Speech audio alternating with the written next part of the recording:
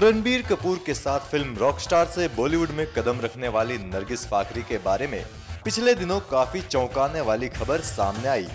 कहा जाने लगा कि वो हमेशा के लिए बॉलीवुड और भारत छोड़कर चली गई इस तरह की अटकलों की शुरुआत तब हुई जब वो हाउसफुल थ्री का प्रमोशन बीच में ही छोड़ अपने घर अमेरिका चली गई बाद में खबर सामने आई कि उदय चोपड़ा द्वारा दिल तोड़े जाने के बाद नरगिस सदमे में आ गई और इसके बाद उन्होंने सब कुछ छोड़ छाड़ कर दूर चले जाने का फैसला कर लिया।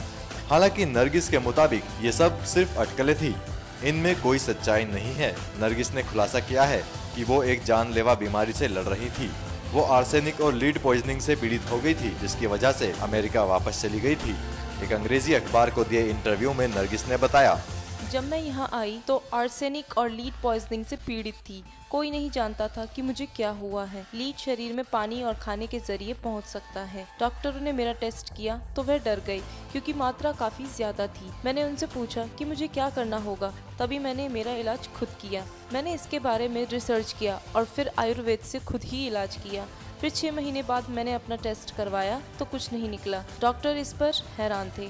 इसके अलावा जब 36 वर्षीय नरगिस से प्यार और शादी के बारे में पूछा गया तो उन्होंने कहा, मैं शादी नहीं करने वाली। आप देख रहे हैं ना कि शादियाँ टूट रही हैं और सभी लोग शादियों में एक दूसरे को धोखा दे रहे हैं। शादी कुछ नहीं है, यह केवल एक लेबल है। मैं इंडिपेंडेंट हूँ और शिक्षित महिला हूँ। मैं मेरे पैसे खुद कमाती हूँ, माँ का ख्याल रखती हूँ। मैं जो करना चाहती हूँ, वह कर सकती हूँ। मुझे किसी की मंजूरी नहीं लेनी पड़ती। यह एक अच्छी चीज़ है।